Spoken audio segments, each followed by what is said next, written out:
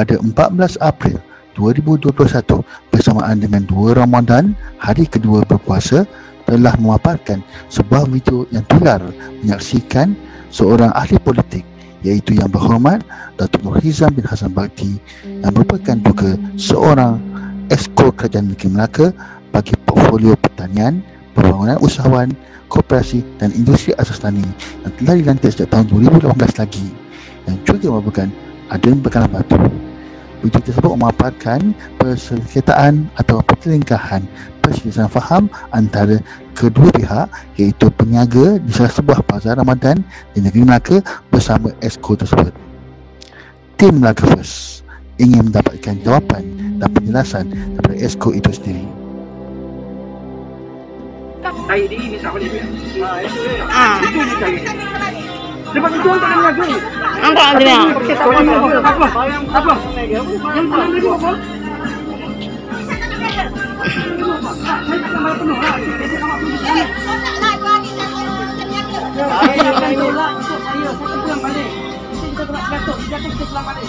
Nak nak Pek nasinya bagi awak nak. Pek nasi belum lapar bagi dia makan.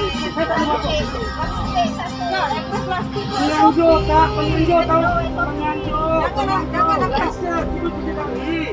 Sopi, kalau tak boleh macam tu.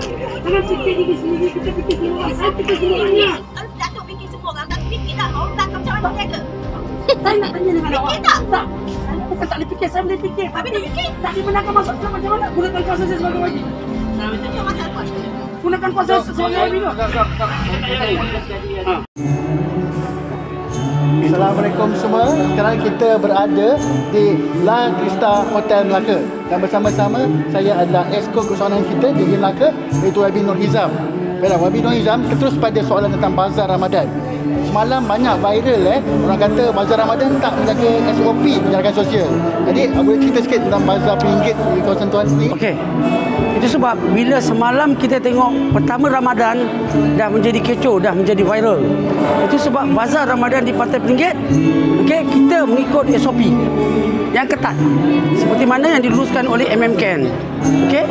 Maknanya kalau dikatakan kita kena pakai mask kita kena pakai mask kita kena pakai apron plastik kita bekalkan sarung tangan pun kita bekalkan dan juga penjarakan sosial dan setiap bazar Ramadan okey dibenarkan masuk 300 orang 300 orang yang kita bagi masuk by stiker. Mana kita ada stiker 300 kita benarkan habis stiker orang tak boleh masuk. Kembali stiker kita bagi masuk. Okey? Dan begitu juga di tempat saya di Pantai Pinggit kita tak benarkan dua pintu.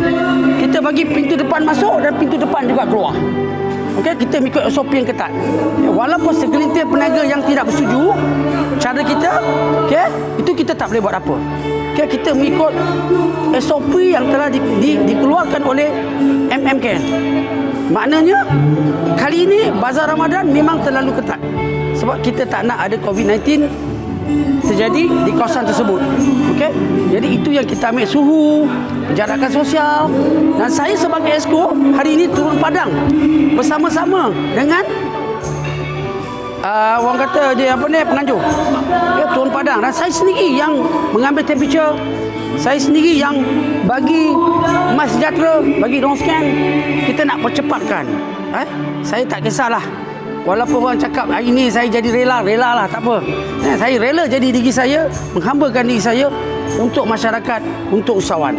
Eh, bagi menjamin usahawan yang ada di pantai pinggir maupun di seluruh negeri Melaka okay, berada dalam situasi yang boleh orang kata menang-menang. Maknanya dia boleh berniaga dalam keadaan yang selesa. Kita tidak mahu okay, Melaka ha, ha, peniaga tak boleh berniaga dan kena tutup akibat tak ikut SOP. Baiklah, mungkin nasihat ringkas YB Okey. pada usahawan dan pengunjung. Okey. Nasihat saya kepada pengunjung agar mengikutilah SOP yang telah diadakan oleh penganjur. Eh, penjarakan sosial, ambil temperature dan eh dan kalau boleh budak kecil jangan bawa. Kesian, eh? Budak kecil jangan bawa. Itu memang arahan daripada MMKN. Budak kecil memang tak boleh bawa. Okey? Itu itu tiga part dan yang peniaga pula ikutlah SOP. Pakai apron, pakai mask, pakai sarung tangan dan plastik sampah yang telah disediakan tu gunakanlah. Jangan buang sampah merata-rata. Jaga kebersihan, jaga penjarakan.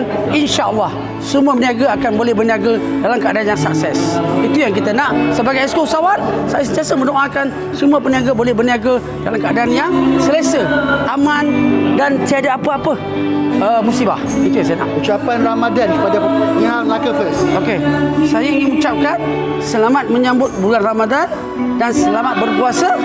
Sama-samalah kita buat ibadah dalam bulan Ramadan dan banyak-banyaklah buat kebajikan dalam bulan Ramadan.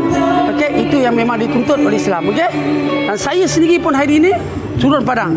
Okey, kita buat macam-macam aktiviti. Kita buat bubur lambung, kita bagi kurma. Betul. Kita bagi pakaian, baju baju kurung untuk orang perempuan.